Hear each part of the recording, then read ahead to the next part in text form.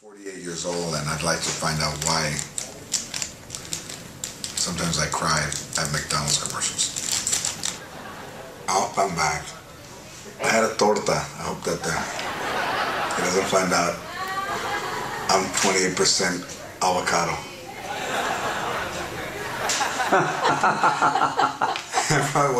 You don't ever want to smell your DNA sample. I'm ready to find out why I own every Gees album, and I love the Commodores.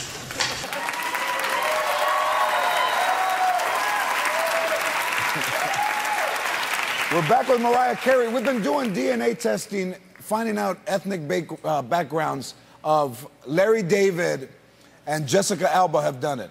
And Jessica Alba is more European than Larry David. And we're gonna do Snoop next month. I think Snoop is part Cleopatra because he looks looks a little Egyptian.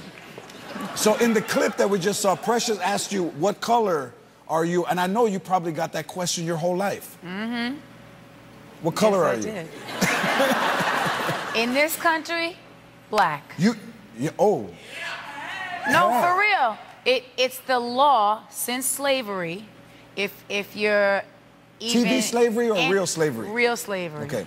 Any amount of black in you, you are black in this country. But there's some Latina in there too. There's a little. Well, come I- on, give me a little bit. Here- here's what I am. Here's what I am. Give me a little My bit. mother is Irish. She's like the queen of Ireland. She loves Ireland, and that's all I can say. Irish, Irish, Irish. Yay, mom. Okay. and my father is black, and he grew up in Harlem. Actually, they lived in the Bronx first, then he grew up in Harlem. He grew up as an African African American Mm-hmm. man. Um, he served his country. Beautiful. And um, his father's mother, so my great grandmother, is Venezuelan. So I got, we gotta have a little piece for us. Yeah, the well, you Latinos gotta have a little Mariah Carey. We got it. But it's my great grandmother, but I did go to Venezuela and see where she was from. You know- Even if you had seen La Bamba, we'd still claim you. okay, you have my. I know that. You I you- have you, have my results. your They're from the. DNA Diagnostic Center in Cincinnati. I have no idea what they are. I they, we've known for two weeks. I didn't want to know, and I wanted somebody who was also of mixed uh, of- lineage, of- perhaps. Yes, well Okay. said. enthralled. I'm enthralled. so, Robin, give me a drum roll, and Mariah will read the results. It turns out you are less Native American than Larry David. But you have more flavor than Jessica Alba.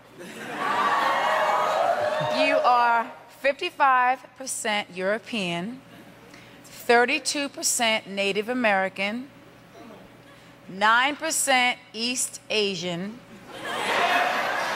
and 4% sub Saharan African. I'm black.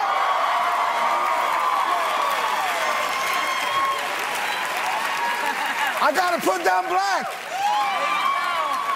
There you go. That you get that in an omelet. There's four different ingredients. 55% European, 32% Native American, 9% East Asian. This is why I'm very calm. And East Asian, can, can they translate that to like, what, what, what does that mean? What, uh, uh, where is the Latino section of you? I might be I might have called my special the wrong name. I should call it tall, dark, and sub-Saharan African.